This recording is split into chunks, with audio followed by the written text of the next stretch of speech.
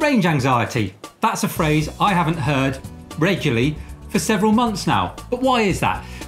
Surely electric vehicles aren't starting to get the range that we actually need, are they?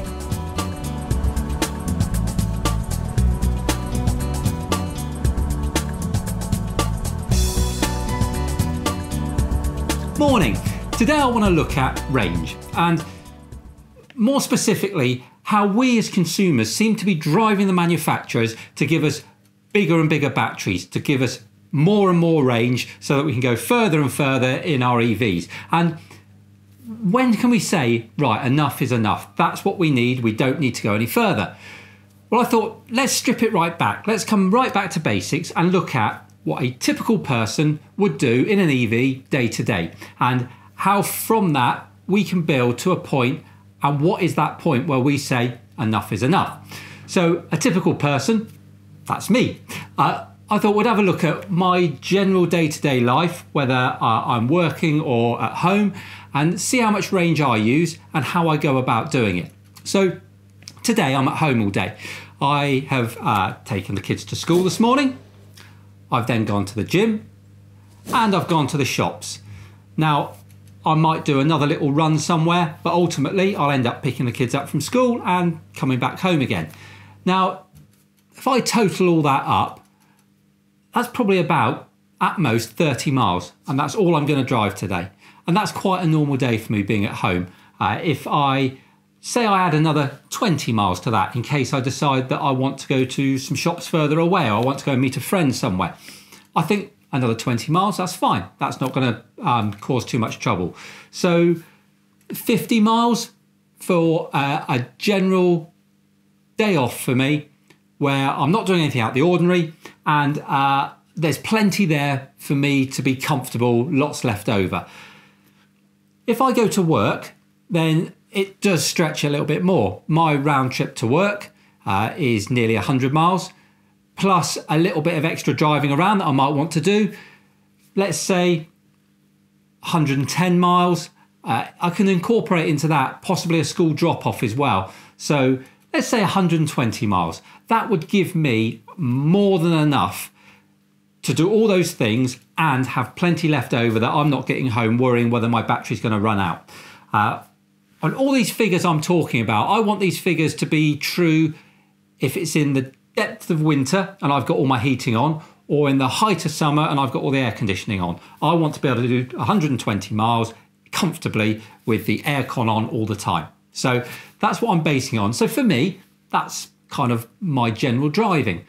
Now, if we look at some figures that have been put out in the past, uh, especially when the Nissan Leaf was first launched, uh, the figures that were bounded around from the various surveys that were done suggested that 80 miles is all that 90% of the population would drive in a typical day. So actually, your EV only has to cover 80 miles. Well, clearly, I've just shown that that's no good for me. I need a little bit more. Um, it may be true for a lot of people, but that is very much based on somebody who drives their car out, drives it home, plugs it in at home on a driveway. Uh, that's not the case for everyone. So, where do I end up? What size battery do I need to be comfortable. Now, in my head, I want my electric vehicle to match my petrol car. Now, my petrol car will do 400 miles, give or take, to a tank of petrol. So, surely my EV should be able to do 400 miles. But how often do I actually travel 400 miles in a day um, out and back home again? I, am struggling to think of a time that I've ever done that in that car. Uh, you know, it's so rare. Perhaps if I was going to travel, I don't know, to Scotland or to the south of France and I wanted to put in a big long leg, but even then, I, am going to be having decent stops on the way, and uh, I'll be very surprised if I cover 400 miles in one hit. So that's unrealistic. It's unrealistic to think that I need a car that can cover 400 miles. But I think because that's what we're used to four, five, 600 miles in uh, an ICE car then we've got that mindset that we need our electric cars to be able to do that. Well, we don't because we know electric cars can charge up while we nip into a service station or, more importantly, overnight somewhere. So we don't need 400 miles. And why do we want to push the, the boundaries of how far we can go just so we can lug big heavy batteries around because then that's kind of counterintuitive because we're putting extra weight in the car so we can go further, but we're not actually going any further. So there's no requirement for that extra weight. So there must be a kind of a balance point somewhere. Uh, if I said the name Carlos Ghosn, uh, that might mean something to some of you. Uh, I genuinely think that name, name should mean as much as uh, Elon Musk to people. He um, he has very much been one of the pioneers of electric vehicles. Uh, he's been heavily involved in the Renault Zoe and the Nissan Leaf. He's very much a driving force behind both of those cars, and uh, I think without him, we wouldn't be as far forward as we are now. I think the only reason he doesn't get the recognition is because he's been part of Renault, been part of Nissan, and uh, unlike Elon Musk, who has been very much uh, a self made entrepreneur that uh, we see on social media and everywhere, he gets very much celebrated. Where Carlos Ghosn, he's he's an industry man, uh, and so we don't see so much of what he does. But make no mistake, he is definitely up there as far as pioneers are concerned with driving electric vehicles forward. So what he says, I think, is quite important, and we should listen to. He said that uh, an electric car that can go 188 miles, 300 kilometres, is all anyone needs. So let's have a look at that. So if you could go 188 miles, would that be more than enough for what you want to do day to day? And could you also see yourself doing those extra trips that you do? Because I think that's another important thing. We always say, well, 90% of your driving you'll be able to cover in less than 100 miles. Yeah, but I sometimes like to go to uh, Manchester. I like that's where my wife's from. Sometimes we like to drive up there. I can do that in my petrol car. If I jump in my electric car, that becomes a real faff and it becomes very difficult to do.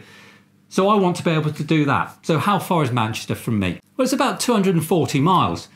So I don't necessarily need to be able to do 240 miles in one hit. I think I've only ever driven that whole journey once uh, without stopping. And that was a Christmas day. I was on my own. I was going up to see my wife and her family. So I didn't stop. But that's the only time I've ever done it. So I've always stopped.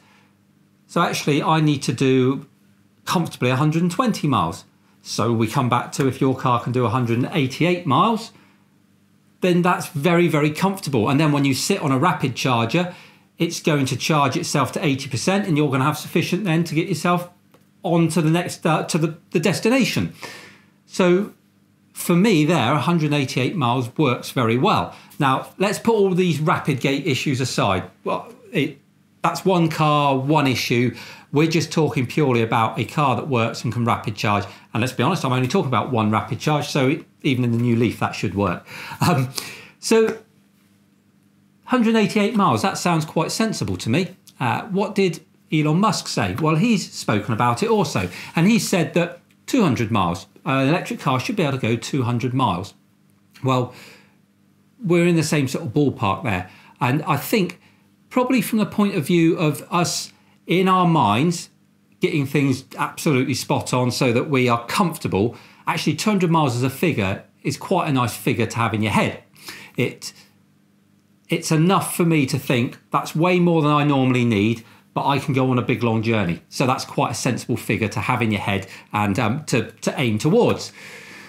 So, what size battery are we going to need to do that? Well, we've seen cars at the moment with 40 kilowatt hour batteries and they're doing maybe 150 miles, careful miles. I don't want to do careful miles. I want to do proper motorway, 70 mile an hour, aircon on, get there, not have to worry, not have to uh, try and drop in behind a lorry to eke a couple of extra miles out. So 40 kilowatt hours isn't enough. But I think 60 probably is. 60 kilowatt hours will allow me to do 70 mile an hour on a motorway for uh, what we're talking about uh, half distance 140 miles no problem whatsoever. And then I can charge up and finish my leg if I wanted to do 240 miles 250 miles whatever. So 60 kilowatt hours is probably for me a good balance. It's a good balance of size of battery when you talk about the weight of it and the amount of distance you can get out of it day to day and then we can start thinking about the cost of the batteries. They are tumbling every single day. So the more those costs come down, rather than us pushing for bigger and bigger batteries that go further and further, well, let's stop and let's allow the cost of the batteries to reduce, and then it will reduce the price of the, rest of the car. So that's my point today. Let's forget about range anxiety.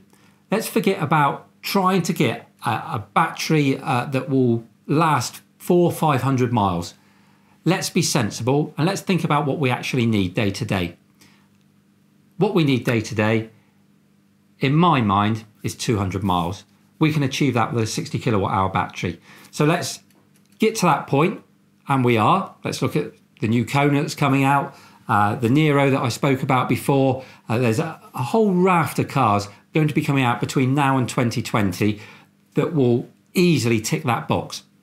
So hopefully, in two years' time, we're all going to have the option to change our ICE cars to electric vehicles and range anxiety won't be spoken about ever again. So I now have to go and do my last trip of the day, go and pick the kids up from school. Um, hopefully you, that's been a thought-provoking video for you. What do you think? Is 200 miles enough? Could you rely on uh, a car that could do 200 miles for pretty much every journey you ever do? Or do you think you need that extra battery and that extra range? Stick some comments below. It's always good to have a chat with you. Uh, if you uh, are on Instagram or Twitter, um, come and find me at EV Opinion. Uh, it's always good to have a chat on different platforms. And if you fancy supporting the channel, have a look at my Patreon page. All the links will be at the end.